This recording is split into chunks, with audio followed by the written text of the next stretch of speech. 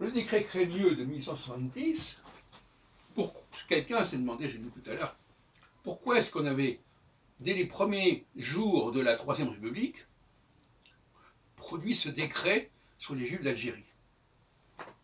C'est surprenant. En quoi c'était une priorité? Et ça me fait penser à ce qui s'est passé sous la Révolution française,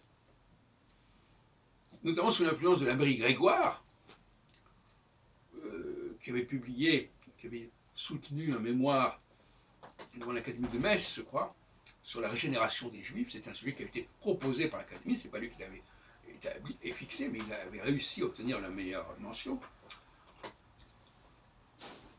Voilà deux républiques, si on peut dire, la première et la troisième république, qui considèrent que sur leur fond baptismaux, en quelque sorte, il faut mettre la question juive. Et donc Crémieux, c'est la transformation, c'est la prolongation à l'échelle de l'Algérie de ce qui avait été établi euh, dans les dernières années du XVIIIe siècle. La différence, c'est que sous la Révolution, les Juifs avait rejoint le statut général de la population, alors qu'avec l'Algérie, il n'y a que les juifs qui ont ce statut de citoyen, d'office, et à des titres collectifs et héréditaires. Donc c'est pas du tout la même situation. On pas rentrer dans les détails.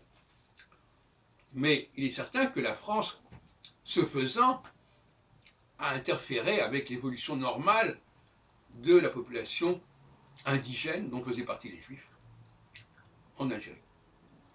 Avec les conséquences qu'on pourrait éventuellement, sur lesquelles on pourrait débattre. A-t-il enseigne d'ailleurs qu'en 1940, lorsqu'il s'est agi, après la reconquête de, cette région, d'abolir le décret Crémieux, il y a eu des, des résistants parce qu'on disait pourquoi euh, privilégier les uns plutôt que les autres? Alors ce qui est assez curieux, c'est que les juifs se plaignent quand on veut leur accorder un statut particulier, quand ce statut leur est défavorable. Mais quand leur statut leur est favorable, ils s'en plaignent pas. Je dis ça d'autant plus que moi-même je suis juif, mais que j'ai un regard assez lucide sur euh, le monde juif, et sa diversité d'ailleurs euh, considérable. Donc, euh, Adolphe Crémieux, qui était juif lui-même, avait peut-être pour raison de faire cela la perte de, je ne sais pas si c'était à ce moment-là, c'était en train de se faire, la perte de l'Alsace-Lorraine, et que pour combattre, pour contrebalancer la situation en Alsace-Lorraine, où la France perdait pas mal de juifs, parce que tous ne revenaient pas en France, par exemple, mon grand-père euh, paternel, Adolphe Albron, euh, sa famille n'est pas revenue en France.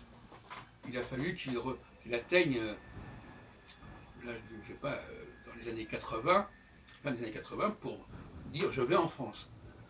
Alors que dans le cas de la famille Dreyfus, de Alfred Dreyfus, dès qu'il y a eu cette affaire, enfin dès, dès 70, ils sont quittés l'Alsace pour venir en France, pour venir à Paris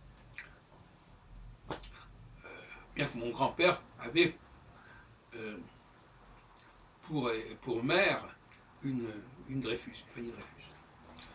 Et donc, euh, peut-être que ça a joué euh, de maintenir une certaine présence, une certaine proportion de juifs dans la population française, pour compenser ceux d'Algérie, pour compenser, je crois qu'il y avait à peu près 35 000 juifs en Algérie, pour compenser la perte des Juifs d'Alsace.